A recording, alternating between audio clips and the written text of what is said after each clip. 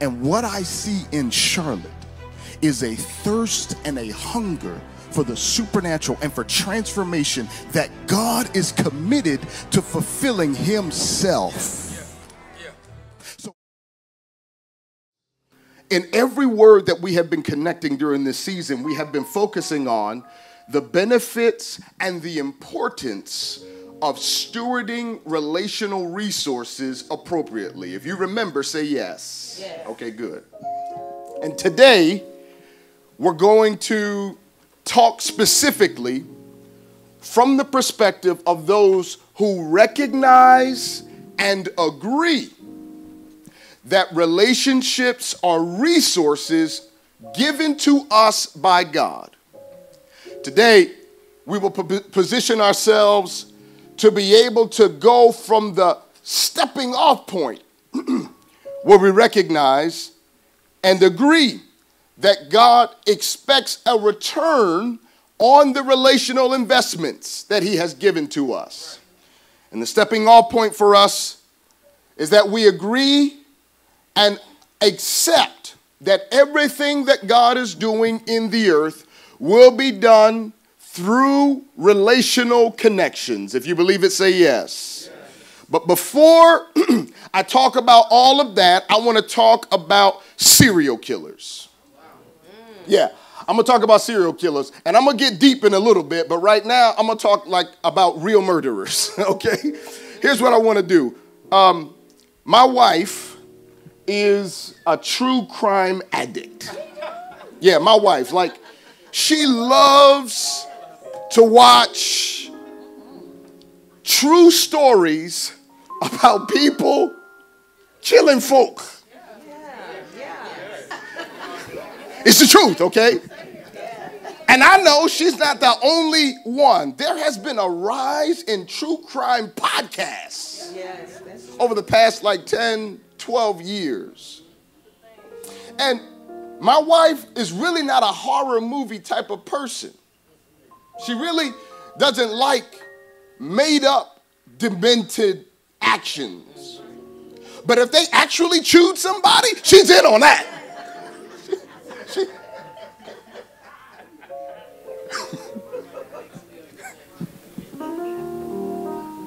and what I have found in almost 20 years of marriage, we'll be married 20 years in July. I'm so excited about that. I'm, I'm excited about that. What I have recognized is that whatever she likes, I like. Just so you know, husbands, whatever, whatever they like, you better figure out some affinity for it. So as I'm watching these first 48 and snapped and I remember one time we had a whole weekend where we shut in and wasn't no Netflix and chill, it was snap and chew. That's what it was. We ate stuff and watched like, oh, I mean, to the point, Terrence, where I was a little concerned. I'm sending text messages to my family like, if it go down, y'all know who did it. I'm just saying. As I watch these serial killers, what I find are the most terrifying serial killers are the ones who hide in plain sight. Exactly. Mm-hmm. Yeah, I'm preaching now. We're already here. The ones who give us the most paranoia, the ones who capture our attention are the ones who are right there with us every day. They live in the same neighborhood as their victims. Yeah, yeah, that's right. They are cordial and affable. Yep. The thing that struck me about Jeffrey Dahmer is that he was good looking and kind of handsome. The thing that struck me about, uh, what's the other guy? Not Ted Bundy. Uh, there was another one I can't remember his name right now, but he was so handsome that people just assumed that everything was okay with him. I mean, he literally was taking people into his apartment, yeah, locking them in boxes. The thing that was most terrifying is that his neighbors never knew. They don't look like serial killers. And I will tell you that the people in those environments even made acquaintances with them, never fully realizing that they were preying upon the ones that they were acquainted with. And I will tell you that today we are going to uncover a serial killer in our midst. We're going to uncover a serial killer that we have been acquainted with, one that is so close to us that if we look to the left or look to the right, we will find proximity to where this serial killer has already done his work. We're going to talk through relational serial killers today.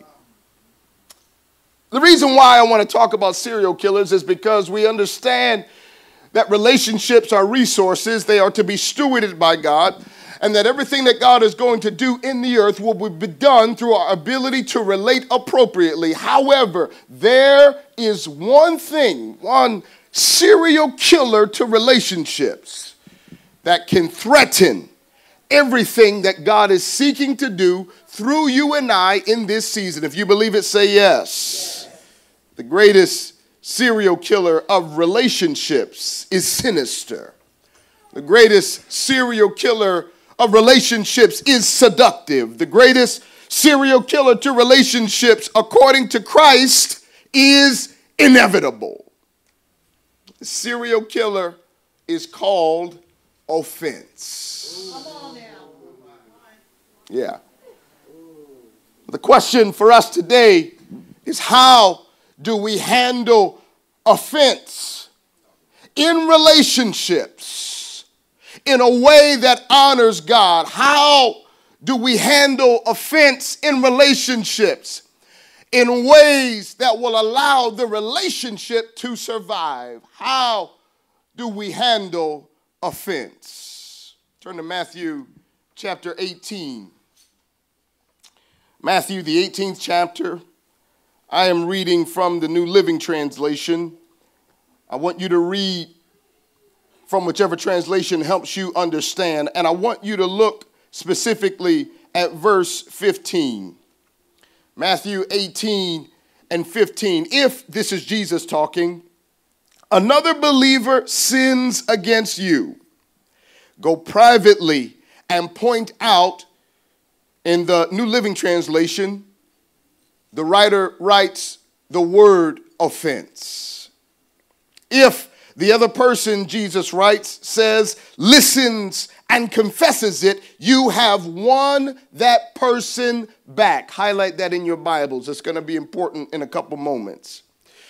Look at Matthew chapter 18, verse 16. But if you are unsuccessful, take one or two others with you and go back again, so that everything you say can be confirmed by two or three witnesses. If the person still refuses to listen, take your case to the church.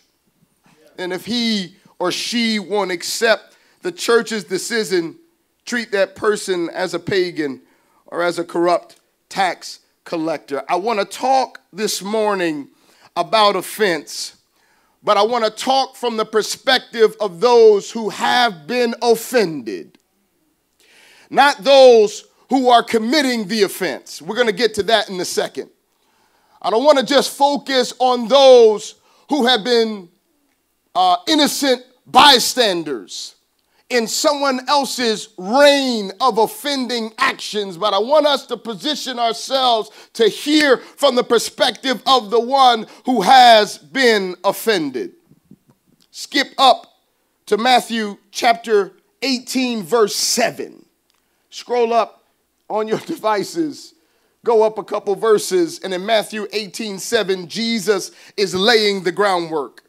He begins to share with us a truth that is connected to the nature of offense. He says, What sorrow awaits the world because it tempts people to sin.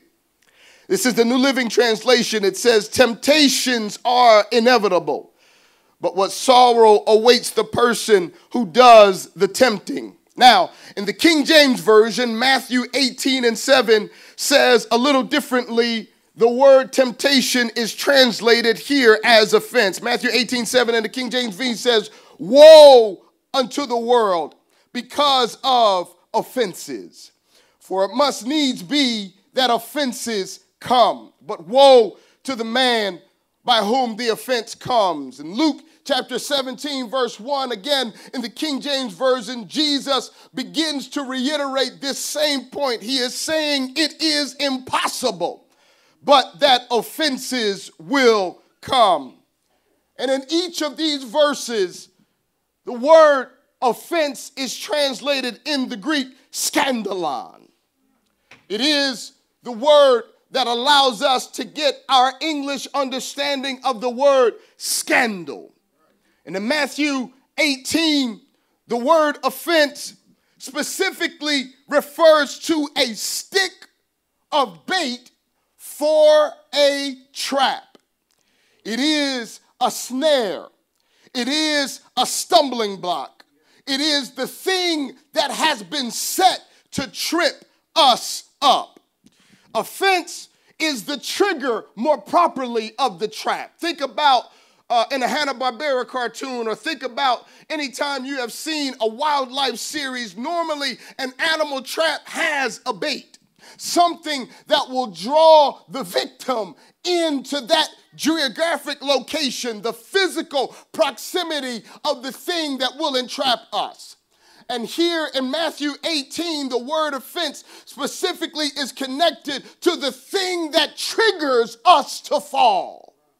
I want you thinking about offense as a trigger for our stumbling.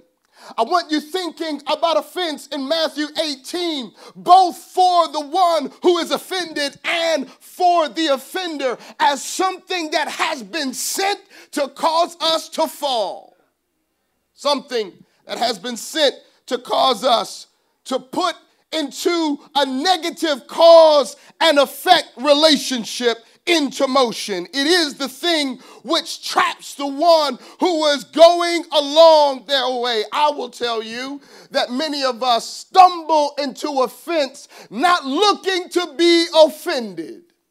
You didn't wake up this morning thinking that your spouse was going to say something crazy out the clear blue.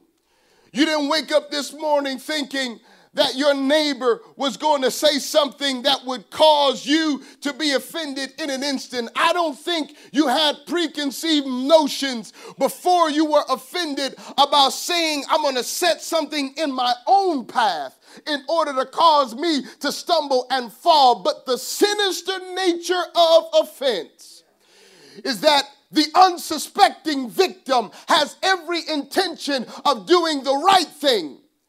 But the nature of offense is that it causes us to stumble and fall. Here's what I will tell you the reason why offense is so sinister is because we are acquainted with it particularly when we feel justified in our feelings of being offended. Yeah, it's one thing for us to catch an attitude because we had a bad day, but it's something altogether different for someone to encroach upon our peace, to encroach upon the good days that we are having, to encroach upon the posture that we have taken to submit ourselves to the King. It is offensive to us for someone to enter into our space of peace, which is why when we are offended, we feel justified in our actions after the offense. I didn't do anything to you. I was trying to do right by you, and you betrayed my trust. You misinterpreted my motives. You took actions against progress in my life. You lashed out to me in ways that were not connected to my original intent. Many times, the one who has the biggest problem with the fence is the one who has been offended because we are looking for some level of justice and justification. It's hard to get over offense when you were the one trying to repair the breach. But here, In Matthew 18, we find that Jesus' words are specifically for the one who has been offended. And it's important for us to understand why we who have been offended, we who have been done dirty, we who have had people misunderstand us, have a responsibility to rectify the offending issue.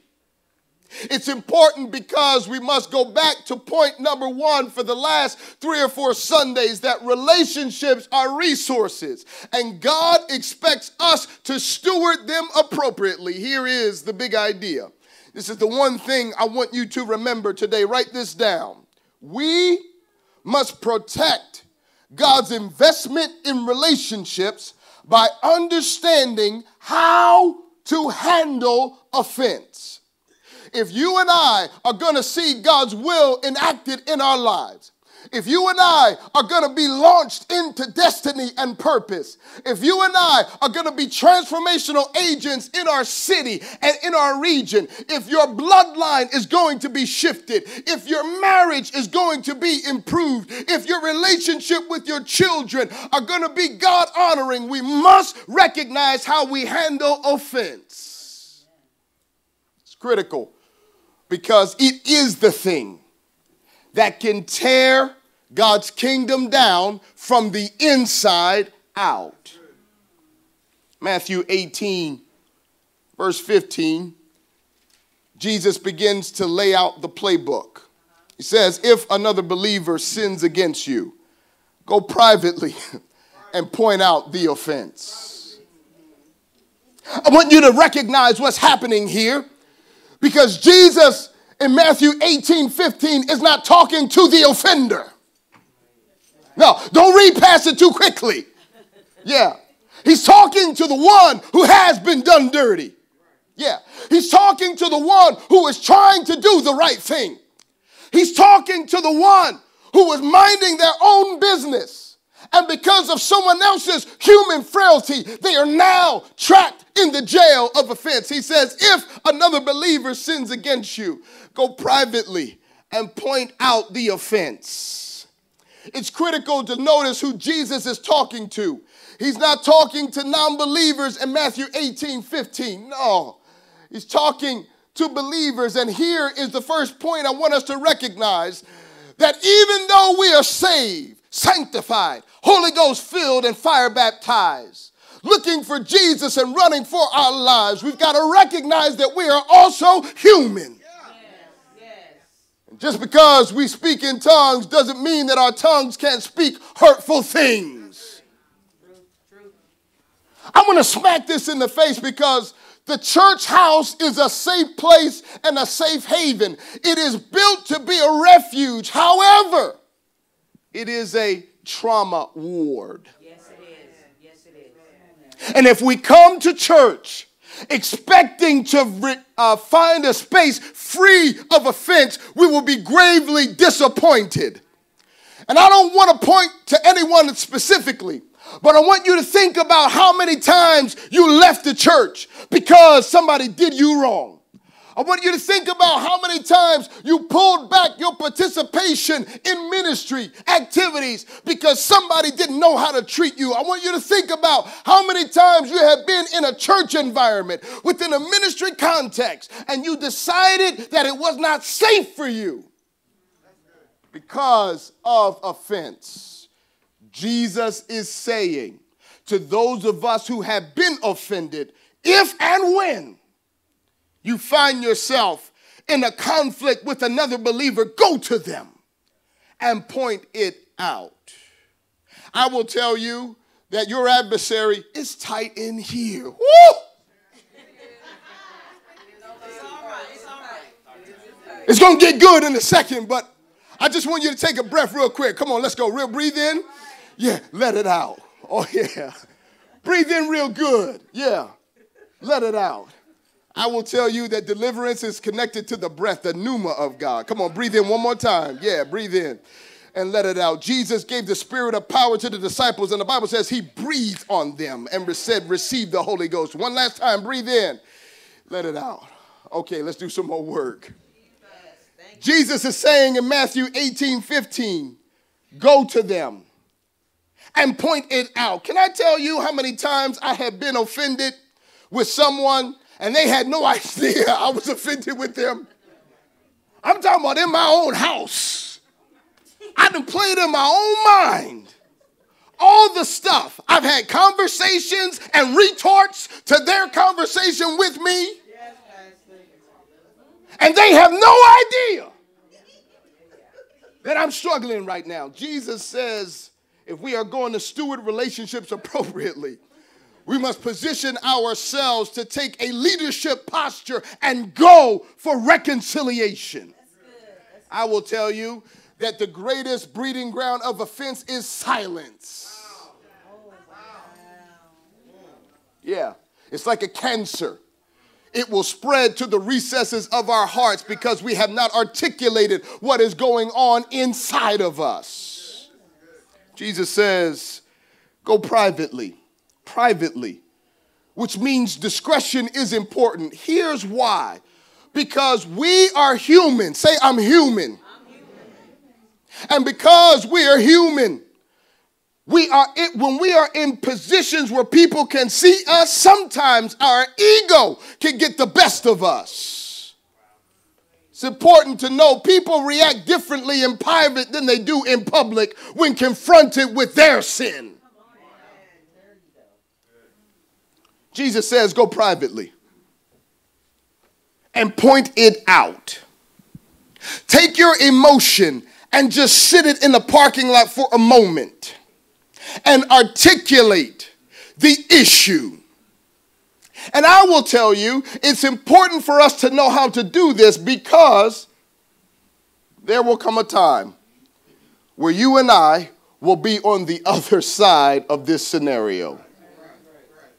And you will appreciate someone coming to you and saying, hey, listen, this thing that you said at this moment, you may not be aware, but I felt a way about it. Yeah. Just so you know, this way we handled this situation, you may not be aware that it happened this way, but it triggered something in me. And because whoo, I value relationship enough because I recognize the power of relationship, I will not allow offense to kill something that is just being birthed. So I'm going to go to you. It shows a level of value when you can go beyond offense and point to the higher value in relational connections. Here's why that's important because the goal of our reciprocating grace activity when we confront offense is to win them back. Look at verse 15. I can't get off of this one verse. Jesus says, If they listen and confess, you have won that person back. This slapped me in the face personally because I know there are many times when I go to people, according to Matthew 18, I'm not thinking about winning them back, Jalen. I'm thinking about winning my case. there are many times when I go to somebody, I'm not thinking about winning them back. I just want them to repent to me. I, I'm not considering myself the one who needs them. I just want you to know this is what happened. Now do something to rectify it. But Jesus says, listen, the focus of our conflict, which is healthy, is winning back the offender. What is it like for us to want to win back the ones who have hurt us? Smack me in the face it required something of me to think do I trust Jesus enough to do what he is saying? These words are in red in my Bible. This is not a suggestion, it is a template and a pattern. Reconciliation is the goal of confrontation in relationships, particularly when there has been offense. If you believe it, say yes. Look at verse 16. If you are unsuccessful, I'm going to tell you straight up, Cynthia, this is the part that I wrestled with. Jesus knows everything. Jesus is omnipotent and omniscient and omnipresent, which means he is in the past, in the present, and in the future at the same time.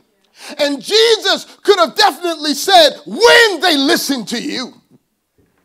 Jesus, Mitch, could have easily said, if you do what I'm asking you to do, when they confess it, but he did not. He said, if. You mean to tell me I've got to employ this technique, wondering if they're going to do the right thing? I've got to go to them with the best of intentions and pursue reconciliation, and it might not work out for me. How is this the best way to handle this situation? Jesus. As you begin to read Matthew 18, your homework is to read the entire chapter.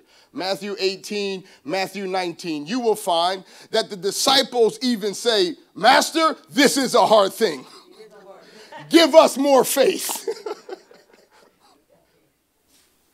Here's why this is important. He says, if you are unsuccessful, take two or three others and go back again.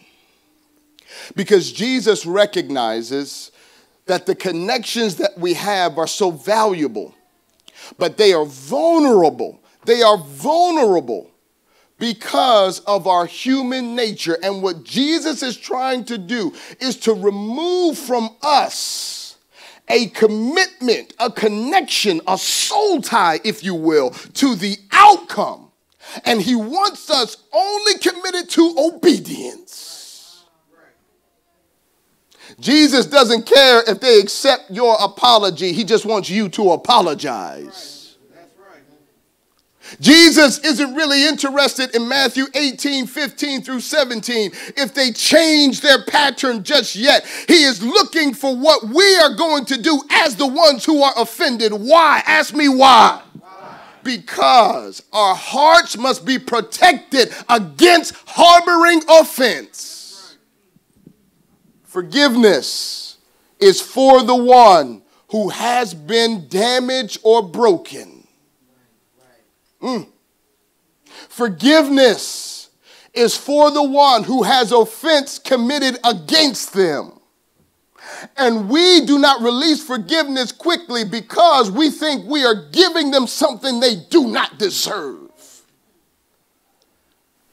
Bitterness and unforgiveness, you have heard it said, is like drinking poison and expecting the other party to die. You and I cannot afford, with all of the things that God has for us to be and do in the earth, we cannot afford to harbor offense in our hearts. Jesus is more interested in our obedience than our understanding of justice. Here's why. Jesus says in the parable, a farmer who has a hundred sheep and loses one will leave the 99 and go get the one. And when he finds the one who is lost, he will celebrate bringing back the one. Here's why this is important Jesus is as committed to the person on the other end of the offense as he is to you. Which is why you and I cannot be the purveyors of justice in this situation. You and I can't trust our hearts when offense has entered them. So we've got to trust the word of God and submit with willing obedience.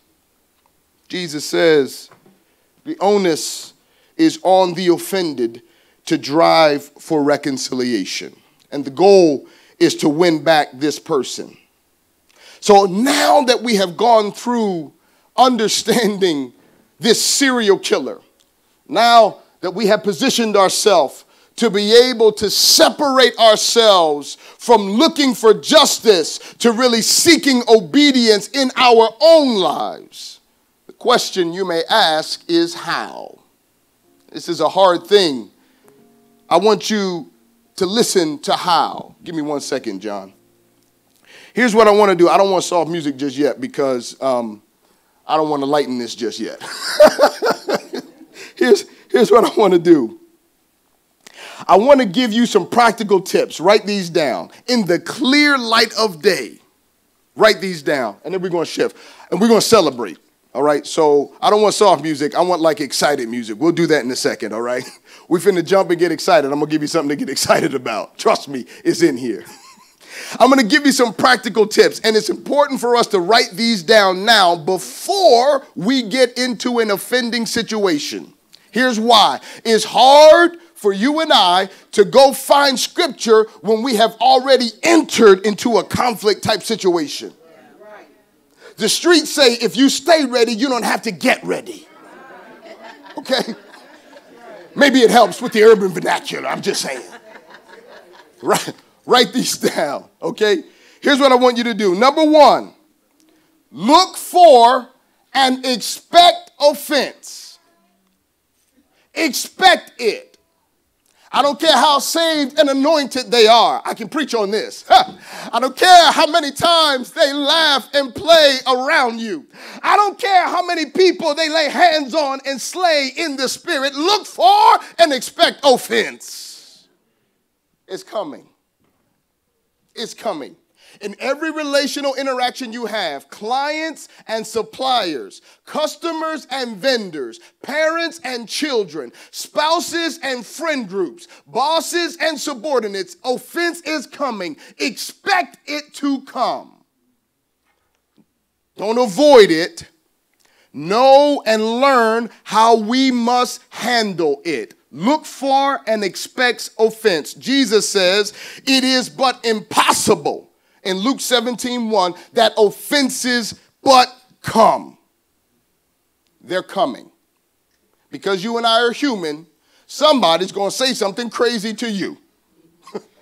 they might even live with you. okay? Expect it. Don't be surprised. I cannot believe you saved. You go to church. Don't be surprised. No clutching of the pearls, expect it. And once it shows up, now position yourself to be active in how you handle it. Here's the second thing. You ready? Second thing we got to do write this down. Write it like I'm saying it. Die to self and the flesh. Die to self. Kill carnal responses. Seek and destroy the flesh in your relational interactions. I want you positioning yourself to submit to the leadership of the Holy Spirit. You can do it. You can do it. The Holy Ghost is for more than tongues and prophetic words. It is the thing that leads us. Jesus says, I will send you a comforter to help you in all things. I want you to die to self and the flesh, and I want you leaning in to the spirit part of who you are. All right? And I want you to submit. We've got to be praying about this Matthew 18 process. I want you to submit to the words in red, even if you don't believe your pastor. Submit to what Jesus said. Take it up with him. I didn't write it, he did. Okay? You ready for the next one? Say yes. Come on, let's breathe in. Come on, breathe in. Breathe out. We can do this. Breathe in. Breathe out. We can do this. Okay, ready? Write this down. Resist offense, taking real estate in our hearts. Resist offense setting up shop in our hearts. The, the book of James says, Submit therefore to God and do what? Resist the enemy, and he will do what? Flee from you. Listen to me. When you are letting go of offense, you are not letting the offender off scot free. Why? Jesus said in Matthew 18, Woe to the one by whom it comes. he will deal with them. But you do not want him in a position to have to deal with you. Get out of the line of sight. And listen, I'm going to tell you something, okay, real quick. We got to go, all right? Oh, yeah, we got to go. Let me tell you this I grew up in a single parent household, and my mom employed corporal punishment. You know what that is? Huh? We got whoopings, okay? And we got whoopings, you know, not just with the hand, Jaden. We would get switches. Well, I grew up in the city. We didn't have no switches. My mom would take a belt, like nunchucks. like nunchucks. And the South is a little different. They would send you out to the tree and make you get your own switch. What kind of sadistic parenting? And if you bring back a small one, oh yeah, you got to bring the one that's flexible though. That's right. Because if you bring a big old log, it's going to be worse. But let me tell you what happened. I have brothers and sisters. And, and many times, my, I'm, old, I'm the oldest, so my younger brother would antagonize me. And when he would get in trouble, I'm in the corner like, yes. I'm like a hype man, like, get him, mommy. Here's what I found out the hard way. When that belt is swinging, you got to get out of the room. Because if you getting too close, looking at them getting dealt with, you might get hit yourself. Stay out of the way, out of the line of what God is doing in them. Deal with your own heart. Deal with what's happening in your own heart. Find ways to be submitted. Let Jesus handle justice. You handle obedience. Get out the way. That's grown folk business. It's not for us. Here's the last thing. I want you write it down like this. Forgive fast. It's bad grammar, but it helps my point. Don't say quickly. write, write down forgive fast. What the teachers in the house? I know I'm screwing it up. Okay? Forgive fast. Okay? Here's why. It's important for us to forgive quickly. All right? Here's why because we need forgiveness ourselves.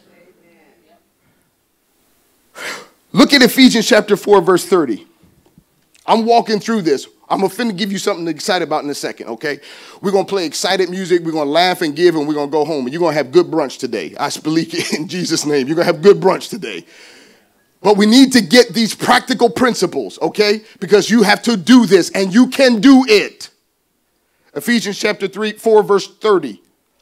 Do not bring sorrow to God's Holy Spirit by the way you live. Remember, He has identified you as His own, guaranteeing that you will be saved on the day of redemption. Now, look at verse 31. You get rid of bitterness, you get rid of rage. You get rid of anger, harsh words, and slander, and all types of evil behavior. Instead, be kind to each other, be tenderhearted. Look at what it says in your Bible forgiving one another. Why? Because Christ has forgiven you. Write down Colossians chapter 3, verse 12. Write this down. It's important to recognize our posture as believers even when we have been offended. Look at verse 12 in Ephesians and Colossians chapter 3. Since God chose you to be the holy people he loves, look at me in my eyeballs. God loves you enough to tell you how to deal with offense. He loved, some of us have missed what God has for us because it came in an environment where someone offended us. He loves you and I too much to allow that to happen. You believe it? Say yes. Okay, here we go. Let's move. He says, You must clothe yourselves with tenderhearted mercy, kindness, humility, gentleness, and patience Make allowance for each other's faults.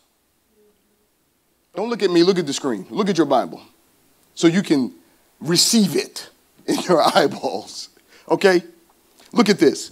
It says, Forgive only the people who are not saved that offend you. Doesn't say that.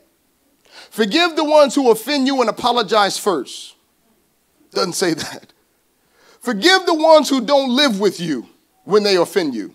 Doesn't say that. Forgive, say anyone. Mm-mm, come on, say it. Don't tiptoe on it. Say anyone. anyone. We're doing real work today. Forgive anyone who offends you. Why? Because you and I must remember that the Lord forgave you. So you must forgive others. It is our identity as those who are recipients of grace to be distribution centers of grace. It is our heritage. It is our spiritual identity and makeup. It's in our DNA as believers to re- release grace in overwhelming measure. If you believe it, say yes. Colossians chapter 3 says, Above all, clothe yourselves with love, which binds us all together in perfect, say, harmony. harmony. Now, I did all of that to get to this. Why should we do this? It's hard, Pastor Geoff. Why should we posture ourselves to be able to release forgiveness and resist offense even when it is inevitable. Why should we do this? Where are the benefits? Write this down. First benefit is true freedom. Freedom from offense means freedom from the prison of unforgiveness. You have never been free until your heart has been free from having somebody else control it with their actions. People crazy, just so you know. And you cannot avoid running up on their craziness. You cannot. But what type of freedom is available to us if their craziness does not change my disposition and posture to the king? What is it like to go to work with all of the folk you work with? I'm talking about your coworkers on your job. And for all of that dysfunction to not land and settle inside of you, what is it like to live a life where we are able to be focused like lasers on God's purpose, even in environments that are toxic? I'm not saying be toxic, I'm saying be a, therm, a, therm, um, a thermostat instead of a thermometer. I want to tell you that true freedom is connected to our ability to be free from unforgiveness. You believe it? Say yes. yes. Here's the second benefit we do not have demonic snares influencing our actions. Write it down. Why we want to be free from offense is that we protect ourselves from having demonic snares influence our actions. We stop the progress of the cancer of unforgiveness and offense. It's a cancer. It will spread through a church. It will spread through a family. It will spread through a work environment. It will spread through a business and a friend group like wildfire. The benefit we have is that it stops with us. Third thing, write this down unity unfettered unfettered unity is a benefit. And you and I will release the power of unity. We release the power of unity. Look at this. Turn to John chapter 17. Jesus is about to leave the earth. And as he is preparing himself to leave, he prays for those who are here. I want you to read the whole prayer of Jesus in John 17. But as he is going, he does not pray for biblical interpretation from them. He doesn't pray that they posture themselves to be able to cast out more demons. Jesus doesn't pray for them to build churches all over the world. Nope. Jesus prays for unity. Look at John chapter 17, verse 9. He says, My prayer is not for the world, but for those you have given me, because they belong to you. All who are mine in John chapter 17, verse 10, belong to you, and you have given them to me, so they bring me glory. Now I'm departing from the world, but they are staying here. I'm going to you. You have given me your name. Now protect them by the power of your name, so they will be what? United. Say united. United just as we are. Skip all the way down to verse 20. I'm praying not only for these disciples, but also for all for all who will ever believe in me through their message. I pray that they will be what? One. Just as you and I are one, you as you are in me, Father, I am in you. And may they be in us so that the world will believe you sent me. Look at verse 22 in John 17. I have given them the glory you gave me. So they may be what? One. You got glory from God so that we can per- be purveyors of oneness in the earth. The church is to be the model and the example for building unity in the earth. The Bible says, I am in them, in verse 23, and you are in me. May they experience such perfect what? Unity. That the world will know that you sent me and that you love them as much as you love me. Everyone standing. Unity releases power and blessing. And the reason why we got to push against offense is because it works against the unity that is the vehicle for the blessing of Jesus Christ in the earth. You can play the soft music now. so here's what I want you to recognize unity is our responsibility. The ones who have been offended have a responsibility to respond in ways that build unity. Amen. Unity is not weak, it is powerful. Unity is not the punk's way out. Unity, can I tell you, clap back feels good in the moment, does not build unity. Can I tell you, getting it off your chest feels good in the moment, does not build unity. Can I tell you that posturing yourself to be able to uh, protect yourself from future impacts does not build unity, it restricts it. Here's why this is important. In Acts chapter 2, those of us who are Pentecostal know this by heart. Acts 2 and 1, on the day of Pentecost, when it was fully come, they were all with what? On one accord. Woo! And in one place. And when they were on one accord, then a wind came in as of a rushing mighty wind. Uh uh-uh, uh you missed it. You think unity is passive. I am telling you, unity is the vehicle for the power of God being moved in the earth. You and I have been sold a lie that says unity restricts us. I am telling you that according to Acts chapter 2, unity is the thing that frees us. Psalm 133 says, Brethren, how good it is for brethren to dwell together in what? Unity. Unity is the precious ointment on the head that runs down to the beard, even Aaron's beard, and it goes down to the skirts of his garment. And as the dew of Hermon, and as the dew of that those that were descended upon the mountains of Zion. Unity is a blessing that runs from the top down. Why? Psalm 133 and 3 says, For the Lord has commanded the blessing there in the place of unity.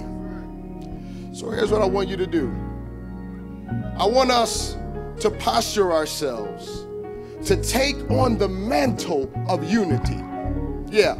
I want you to be proud of your heritage and your inheritance, to resist the cancer of offense. I want you to be able to be faithful enough in God to trust that He is good enough to protect us even when we are wounded by those we are connected to. I want us to posture ourselves to be transformation agents in the region. And that only happens when we resist offense. If you believe it, say yes. Lift your hands. In this moment, I want you to recognize the power that is available for us when we resist offense. But I know you need help. We need help in doing so. So, all we're going to do is pray and receive what God has for us, and we will celebrate the unity and power, the blessing and the favor we will celebrate the posture of the glory of God being placed upon us because we are accepting the responsibility to be purveyors of grace and forgiveness in the earth. Let's pray. Father, I thank you. Yeah. I thank you that you love us enough to allow us access to the truth of your word.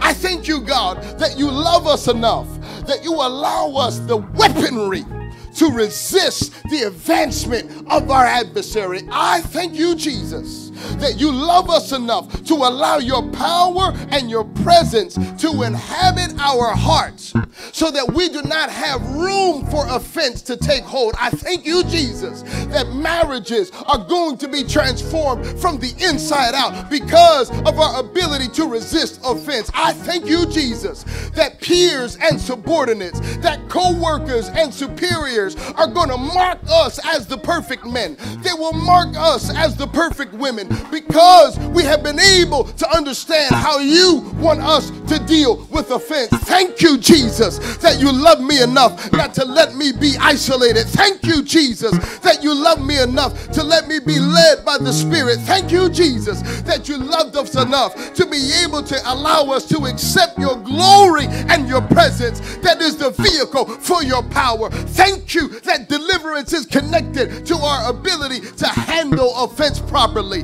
I great, I'm grateful for what you have done in my heart in this moment. Thank you that we can celebrate your power. Yeah.